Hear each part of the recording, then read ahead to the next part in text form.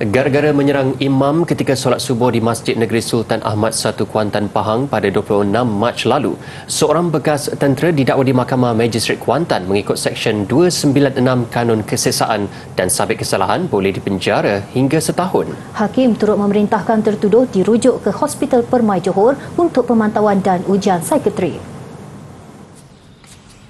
Mengikut pertuduhan Ahmad Paijan Abdul Rashid, 35 tahun didakwa dengan sengaja menyebabkan gangguan solat subuh di ruang solat utama Masjid Sultan Ahmad I kira-kira jam 6.30 pagi 26 Mac lalu. Bagaimanapun sebaik pertuduhan dibacakan dan ditanya jurubahasa faham atau tidak, Ahmad Paijan memandang sekeliling kamar mahkamah dan hanya berkata, saya dengar suara. Pihak pendakwa diketuai Timbalan Pendakwa Raya Izwain Farhana Ahmad kemudian memohon merujuk tertuduh ke Hospital Permai untuk ujian psikiatri mengikut Seksyen 342 Kanun Tata Cara Jenayah dan dibenarkan magistrat.